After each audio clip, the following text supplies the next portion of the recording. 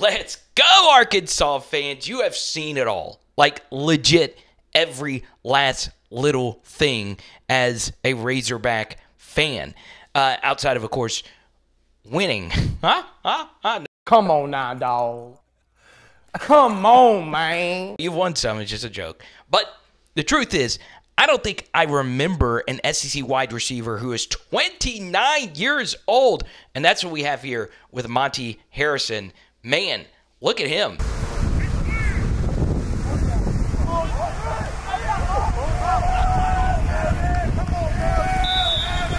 That is insane, bro. Insane. So, for those that don't know, he played baseball uh, professionally, and that was him wide open. I will say this is uh, the third string, right? This third string quarterback, KJ Jackson, right here. And uh, there's Charlie Collins. I'm hoping big things for him next year. And as you can see, he's going up against uh, a walk on DB. But Monte Harrison has made a few different plays. And look, uh, it's it's been somewhat impressive. And even here, once again, going up against backup walk on kind of player, uh, looks like he had a step right here. So, is this really a thing? Maybe. I will say this Arkansas wide receiver room is crowded.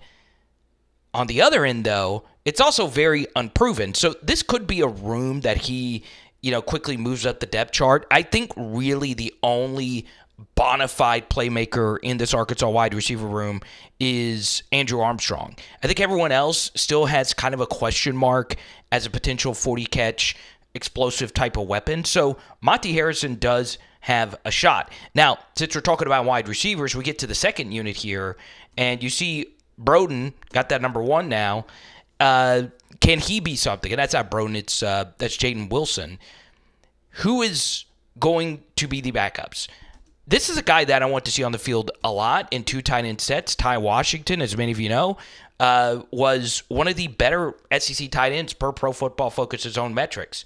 Okay, but you see here, he's trying to force him the ball, and this is easily picked off. Now, once again, it's cut off here, and if you watch our first uh, practice breakdown, it's floating in the top right corner of your screen. Remember, a few practices ago, the linebacker who was playing right here, it's not the same guy, he actually tripped and fell. And uh, Malachi Singleton hit a, a, deep vertical here to the tight end, all right, on this same exact play. But this time, you see what happens when you don't fall? You pick it off. And if you're Malachi Singleton, you can't predetermine where you're going with the football. That was Miguel Mitchell on the pick. You know, one thing, uh, the second team offensive line looks like it's doing pretty well uh, against this uh, second team defense. So it's a good throw. Quickly, it's kind of hard for me to see who the receiver was there. But now we get to the starters. All right. Lucas, we know he's big time. Uh, Lena Jackson. I mean, this Arkansas first unit defense, this secondary, I, I don't know how I feel about single uh, Singletary starting. Uh, next year, I think they are just mixing and matching. I don't know if he's going to actually be the starter here, but shout out to Hog Sports, Trey Biddy and the crew. They crush it. Uh, you see that they are running, uh, you know, a bunch of inbreakers here. Okay, and it starts off uh, with the vertical here, and 17 is running a whip route to the inside, and 22 is running a Texas route, the angle route, right?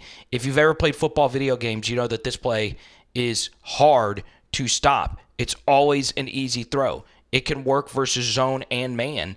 And what else is interesting is 17 also got open in this window. Bang. Okay. But this is where you want to go with the football. And that is really, really, really good stuff. And this will be the key to the Taylen Green offense. Now, every Monday, we are doing live streams for the Hogs, 5 p.m. Okay. And I gave my Taylen Green stat projections. I am very interested to see his passing yard totals being so low set by the experts in Vegas. If you want to see what those totals are, it's floating in the top right corner of your screen, okay? So I like to hurry up, pitch to Ja'Quinden Jackson, and this is just torn to pieces. Um, safety runs into the box here. Uh, I think that's Doneiko Slaughter, and it changed the numbers here. All right, so Slaughter saw it pretty quickly, and actually, it wasn't Slaughter. Uh, it was a backer coming from the backside. Who is this? This is a hell of a play. Oh, it's uh, number 10, Xavian Sorey, who's had an awesome camp. Okay. That's really, really, really good stuff. And now we get to hear CJ Brown actually makes a really good catch on this play. Love this uh, RPO play action kind of stuff. Okay. So he pulls it. All right. He liked his numbers here. This corner is playing so far off. These backers. Uh, this is what Bobby wants next year. Simple one weed, one one read, one read, one read, quick throws. Hudson Clark obviously not hitting here. All right, so we get to another practice scrimmage session. I highly implore Arkansas fans to let true freshmen develop because Charlie Collins looks like he's not really going to be a factor this year. Um, you know, there's not been a whole lot of splash plays. And right here, I mean, he is just getting absolutely like he, he's nowhere close to the QB here um, on this rush. Now, I will say, as a former pass rusher, when I was an end, I never liked the three tech to be on my side, right? It can sometimes push you a little bit wider, but you know, it, it's it's it's going to be a work in progress here. So maybe he is a later bloomer into the season, but he needs a lot of work. Uh, and and look, KJ Jackson, it, if he's your quarterback as a true freshman next year, I mean, you're you're you're you're not in a good spot. So, uh, yeah, let let these guys develop. Here's Charlie Collins again making a play versus a run. He's definitely athletic enough to to, to play the run uh, in year one for Arkansas. Let's see what happens here. It's a little blurry. You know, one thing I'll say from watching Bobby, and I actually do like this because I do notice college quarterbacks avoid the middle of the field. Arkansas has really been repping their quarterbacks throwing to the middle, right? And it it is very uncomfortable throwing over to the middle. And Malachi Singleton's not the tallest QB, so it makes it that much more difficult for him to throw over the middle. This ball location actually isn't all that bad. I probably am not throwing this ball. I don't know if anything else is open just based on the camera angle. But look at where he put it on, on the back shoulder. It's Just a really good play right here um, by 16, who just had the, the, the pick six. All right. What about Rashod Dubinion? Someone let me know about Dubinion next year. Coming in as a clear RB2, probably going to get a lot of passing down work. Um, I still think it's going to be such a heavy dose of Ja'Quinden Jackson. I, I just think, you know, basically he is the best at everything on this team at the running back position. Uh, but we'll, we'll, we'll see. All right. Uh, once again, Malachi Singleton back in. Pretty much the same second unit going up against each other. Let's see. Uh, wow. Dude. oh, my God. I, I, forgot about this when I watched it uh, initially. It's a good job by uh, whoever filmed this to get this. I can't say this enough. Like, I know a few of you have complained to me about the camera angles on some of this they are doing the absolute best that they can. Okay. Um, man, this is really good camera work because you, you, they didn't get fooled by the play action. And look at this ball right here from Singleton. This is not a good ball at all. But look at Var'Keyes Gumms. Holy moly. That is one heck of a catch. Now, we've seen him make some bad drops, but man, that's that's excellent. Okay, let's see what happens here. All right. This is a welcome to the SEC kind of throw. And there he is again, y'all. Selman Bridges is getting better and better. Okay, let's slow this down.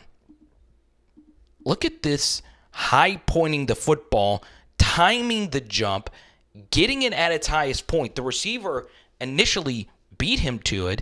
And look at him get his hand right on the ball. That is unfreaking believably good. So before we go through this final practice clip, let's throw it back. So Monte Harrison was a class of 2014 recruit. Let's take a look at the Arkansas class of 2014 just so you can know how long ago this was. Yes, that is Frank Ragnow at the bottom, and Frank is already halfway through to a Pro Football Hall of Fame career. So that lets you know how much older Harrison is versus the competition. Also, big shout out to Bijan Jackson. I was also a big Jared Cornelius fan. But man, this is so cool. I want to share a stat here from Andrew Hutchinson.